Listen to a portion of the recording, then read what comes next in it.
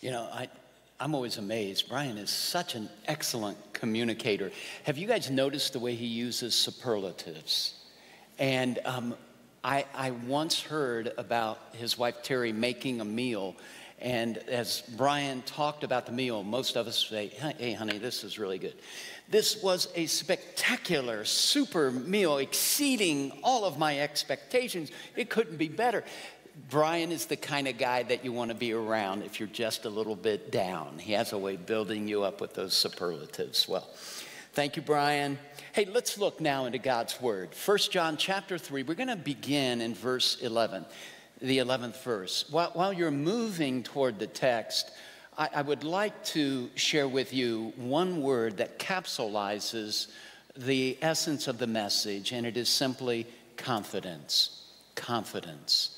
One of the things that happens in aging naturally is that once you reach the age of 60, studies, secular studies, have proven that our confidence as people diminishes. The older we get, less confidence.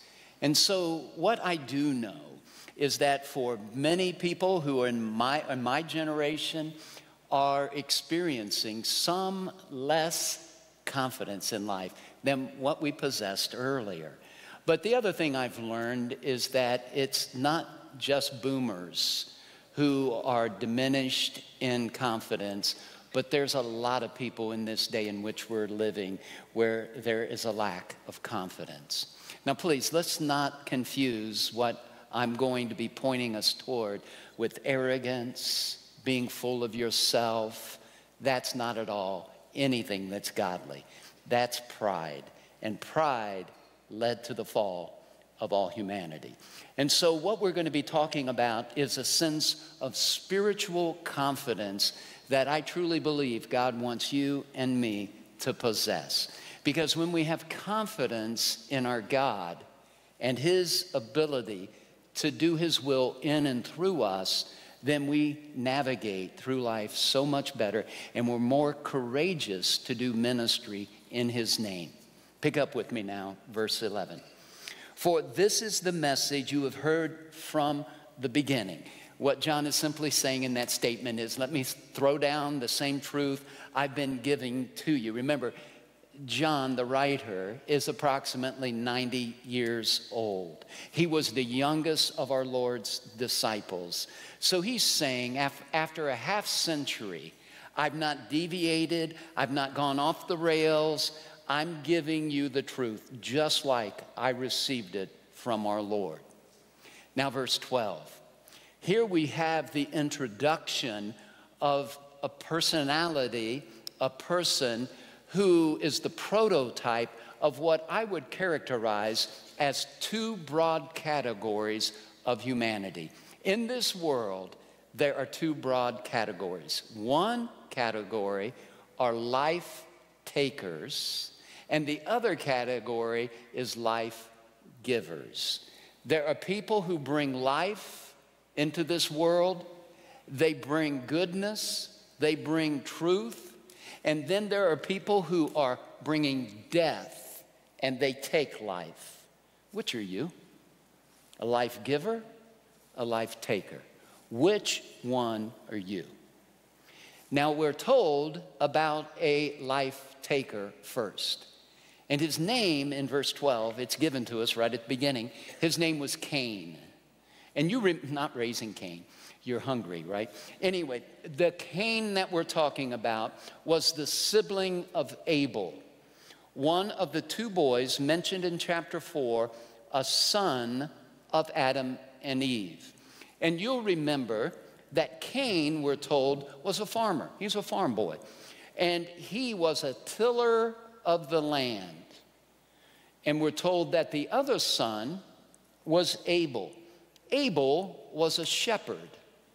We know that both, on occasion in Scripture, are viewed with high regard. So this is not about an occupation, this is about obedience to God. Remember, in First John, there are three themes which are throughout. It is woven into the fabric of the text repeatedly. And the theme is You can have security spiritually. You can know that you're born again if you maintain the truth about Jesus Christ. Remember, there was a group of people who misrepresented the truth about Jesus Christ. You cannot be saved by any old name. You cannot revise the name Jesus and make him into what you want him to be and be saved. It is the historic Jesus Christ. It is the Jesus Christ who descended from heaven down to earth, who willfully went to the cross to pay a price for sin that we cannot pay, who was placed in a grave, he was dead. And he rose again from the grave on the third day. He ascended to the Father and he's coming back.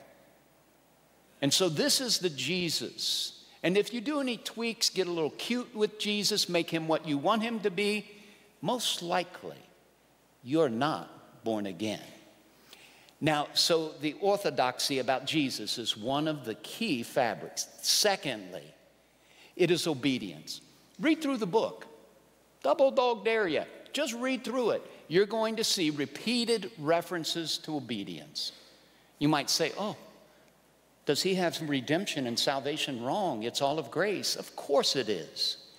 But people who have the new birth want to obey their father, and they don't believe that their obedience maintains their salvation, but it is the evidence of a changed heart that has this strong, passionate affection for the Lord of their life. Obedience. And then, thirdly, you're going to see a love for the brothers and the sisters. Do you have a heart? Do you have a heart? Are you unmoved by the pain and the suffering of the people around you? Are you heartless? You can be orthodox. You can memorize every one of these verses on the wall. You can also know our doctrinal statement, the Baptist Faith and Message, 2001, and agree to every aspect of our doctrinal statement. And if you don't have a heart, you can know His Word, but you don't know Him. And so we find that John says, if you have a genuine love that is driven by our Lord, you should have an assurance of yourself. If you are obedient to his commandments, because every son delights in being obedient to the will of their good father. And if, as well, you understand the truth of the historic Christ, who was and is and forever will be, then you got the real thing. But don't, don't tell God we're okay with each other when you're doing none of those three. So now we see Cain. What happens with Cain? He, gets, he gives an offering to God, as does Abel. Scripture says God received the offering of Abel, but he rejected the offering of Cain. What happened to Cain? This made him angry. Cain then took his anger out in a way that led to the death of his brother. I'd like for us, if we would, just for a moment or two, look at the dialogue where God speaks. We're given this, this insight. It's almost like the room is bugged, and we're given this, this record of the dialogue between God and Cain. This is before he would kill his brother. Envy, anger. Notice what God does. Chapter 4 of the book of Genesis. And if you would start with me in the sixth verse. Then the Lord said to Cain, Why are you furious? I, I, I, I understand. People come to church, and we want people to come to church, even when they're not emotionally well. We want you to be here. We want this to be a place of healing. We want you to see this as a refuge. But we don't want you to live in the dysfunction of that emotion that is so adverse to your life. And so, my question would be why are you angry? Why, why is it that your wife would characterize you? I'm married to an angry man. Why, why would your husband say of you, I don't understand her? She is always angry. Why, God says to Cain, are you angry? He's not wasting time. When the Spirit speaks to us through the Word, it is so that we might be drawn to God's healing and His mercy and His grace in your life. And what we don't want to do is to cover it and to fake it and to come into church. We put the mask on and we fool some people, but we never fool God. Why are you so angry? And notice next in the text, and why do you look so despondent? You have the look of despair that there is no hope. This can I can never move beyond this. I can never be healed. My life can never get better. I can never get rid of this rage inside of me. And, and then it says this in verse 7 If you do what is right, won't you be accepted? That is, that in my mind is one of the great grace verses in all of the Old Testament. You blew it. Most likely, God laid out what was an acceptable offering and an unacceptable offering. Abel got it right, Cain didn't get it right, but that did not mean for the rest of his life, Cain had to be the rejected son.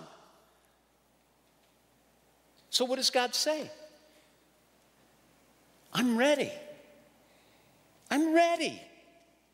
Let's just start over. Let's do it right the next time. Do you know what that is? That's grace. That is grace. Because of your prior decisions that were in opposition to the will of God, you can break the cycle. You can be healed. You can be forgiven. There is mercy. And, and, and then listen to this. Oh, what an incredible warning. If only he had listened to God. But if you do not do what is right, sin is crouching at the door.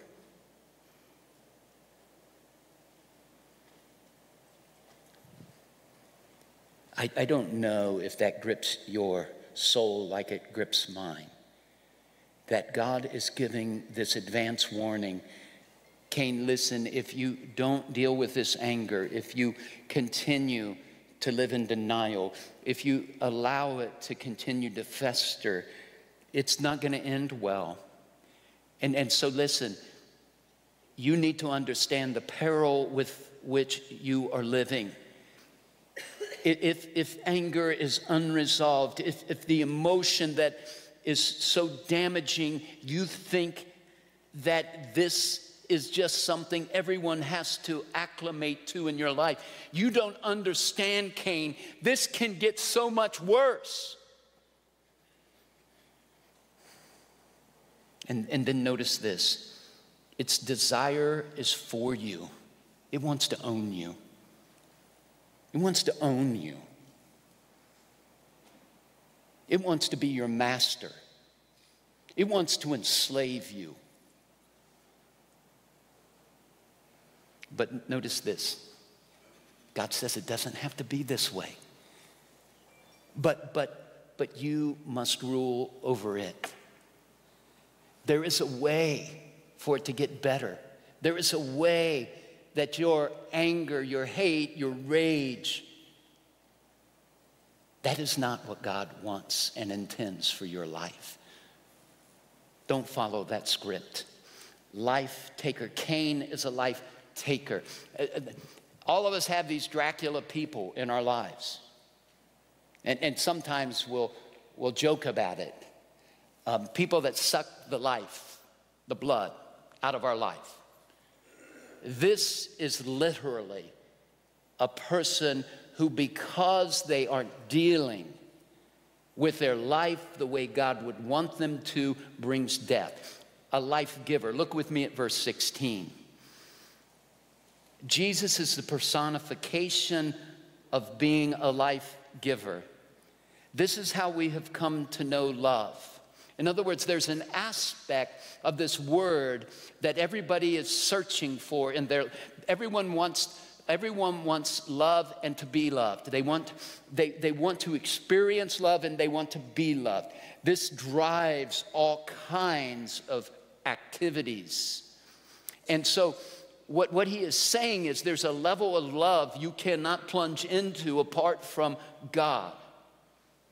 And it says this is what we, we, have come, we have come to know love. He laid down his life for us, his crucifixion, his death, his burial, his resurrection. And then what does John say? We should also lay down our lives for our brothers and sisters. This has been a crazy week at Jersey. Um, we've had four deaths in the church this past week. Uh, one of the families, this incredible family in our church, uh, they're, they're always on the front row.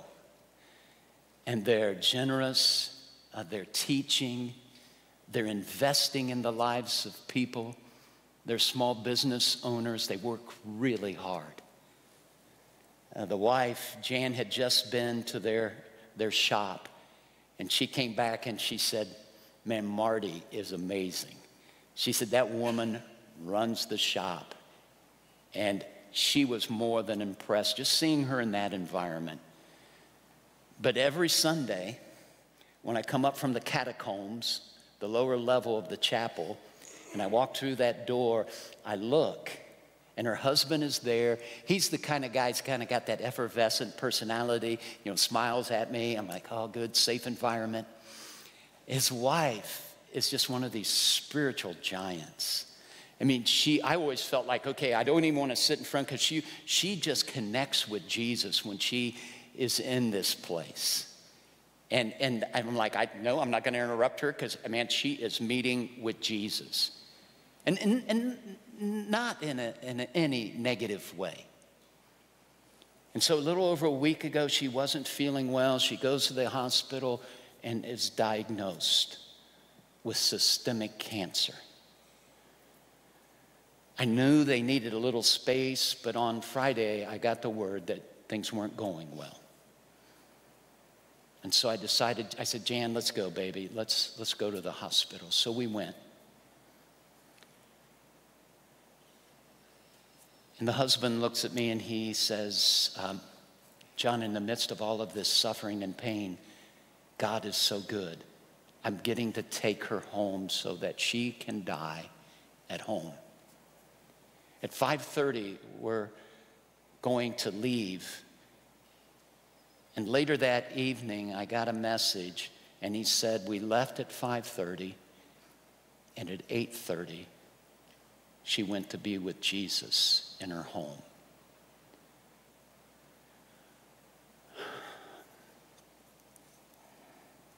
You know, Jan and I, when, when, when that happens, um, first of all, we hug each other tight. Okay? Um, we realize that life is brief. It's, James would say it's like a vapor here now and gone. And, and then we're like, what can we do? You know, what can we do? Of course we prayed. The next day, a brother calls me and he says, John, listen, what can we do? And I asked the question, I said, How about the yard? Um, is it being cared for? And the man who had just been to the house that Saturday morning said, Hey, it was freshly cut. And then listen to this a neighbor cut the grass. And I'm going, I don't know who that neighbor is, but I like him. I like her, I like him, whoever that is. I, I've got so much more to grow in, in 10,000 ways. But I will tell you this my heart is moved by the pain and the suffering, especially of the brothers and sisters in Christ. And if in your heart, when that person, your neighbor, your coworker, the person in your small group, the RD member that you've invested in, when their life absolutely gets sucker punched, and if you don't care, if you're unmoved, if there isn't something that says to you in some way, no matter how small, I want to do something to remind that brother and sister Jesus has never abandoned you. He never will. He is with you in this journey of suffering.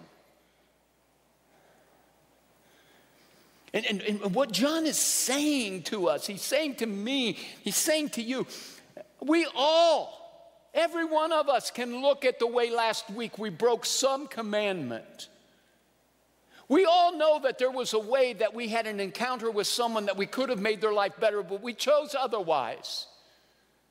But what John is saying is if it never happens, and if you never care, if you never weep, if you never cry, if you never stay up at night, if you're unmoved, there's a serious problem with your soul because the heartbeat of Jesus has always been and will always be. Where there is sin, where there's the ravages of a fallen world, He is there and He cares.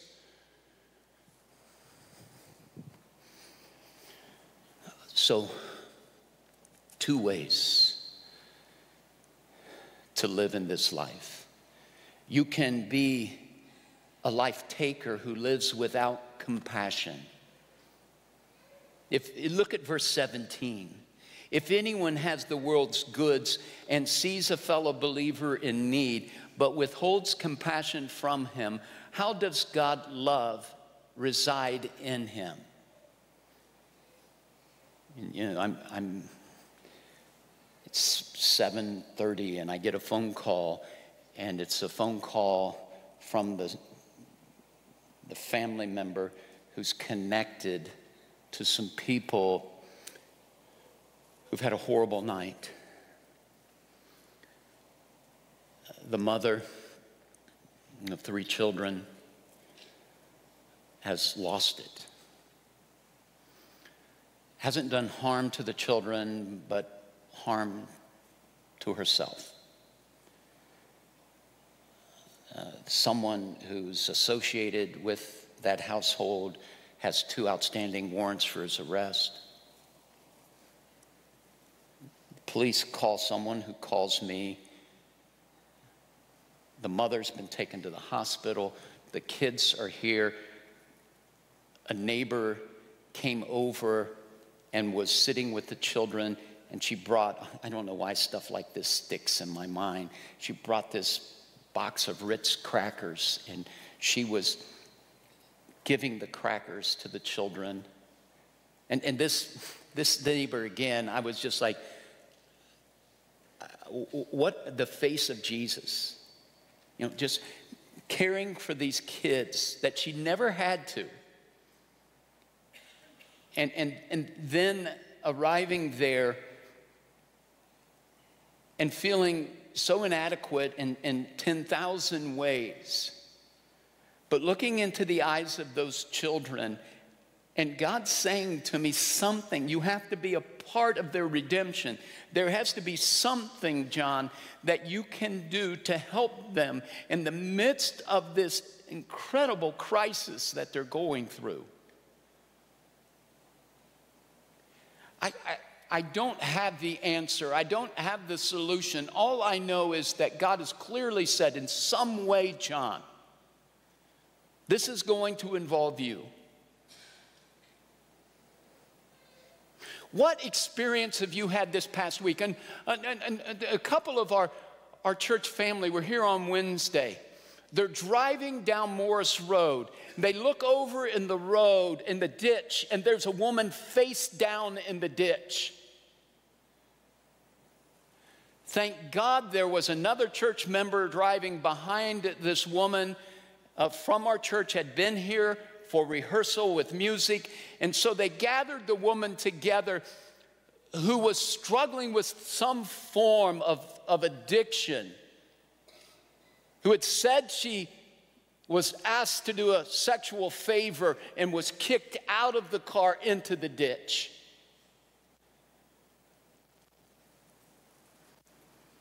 The church members did exactly what I think Jesus wanted them to do.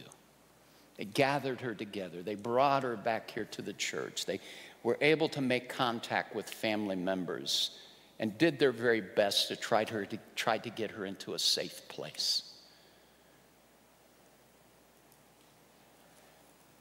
I don't know about you, but I think the church at Jersey is being tested in a lot of ways. Are we going to respond to people with need, with compassion? and be life givers? Or are we going to look the other way and be life takers? Now, now there's, to move quickly, there, there's another portion of this message. Remember, I talked to you about confidence. Look with me, if you would. Beginning in verse 19, it says this This is how we know that we belong to the truth and will reassure our hearts before Him. Whenever our hearts condemn us, for God is greater than our hearts and He knows all things. Basically, whether or not you, you are moved or unmoved, God knows. And it's not dependent upon what we might say is a conscience. But look at verse 21. Dear friends, if your heart doesn't condemn you, if it doesn't condemn us, we have confidence before God. I, I, I would say to you, I'm, I'm still trying to navigate through these experiences that I've had this past week to say, God, did I, did I do it right? Are you happy with me? But when, when, I, when I think about this past week and I think about the future and I think about our church, I think about the fact that we as a congregation, if we're going to be able to, to thrive and represent Jesus well into the future, there must be an anchor that, that holds us fast. Because this kind of stuff can wear you down. It's exhausting. It's, if, if your heart is, is not made of stone, uh, you will cry, you will weep, you will question, you, you, you, you, you can't do otherwise.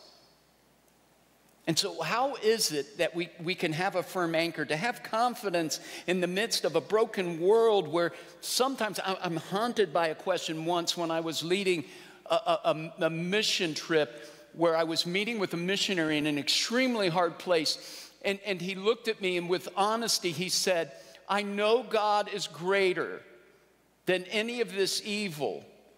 But he said this He said, Why do I see evil winning so much? And I'm like, Brother, persevere. Somehow persevere. So, how do we persevere? I think John gives us three ways. Let's look at it together. It, it, first of all, he gives us assurance of salvation. Verse 19, this is how we will know that we belong to the truth. I don't know how anyone navigates through life without knowing if I were to die today, where does my soul go for eternity? Does it go to heaven? Does it go to hell? And if I have no certainty about that, when life can be threatening, when life can be harsh, when life can be bad, when you get the diagnosis that you've got cancer, when they tell you you only have hours, days to live, you have to know that you know that you have peace with your Creator. and you can. And then, secondly, I think God wants us as well to know that prayer does change things. Notice what he says in verse 22 and receive whatever you ask from him because we keep his commandments and do what is pleasing in his sight. Then you know 1 John 5. Uh, verses, uh, verses 14 and 15. And, and in that passage, it says, This is the confidence that we have before God. This is the confidence that we have before God. If we ask anything according to his will, he hears us. You can have the ear of the Almighty. And, and so when, when we navigate through life and its difficulties and its adversity, what God is saying, listen, don't ever let anyone minimize the impact and the power of believing prayer in the, anchored in the will of, the, of God. And then, thirdly, the anointing of the Holy Spirit. Uh, uh, look with me at verse 24. The one who keeps his commands, that, that repetitiveness, isn't it?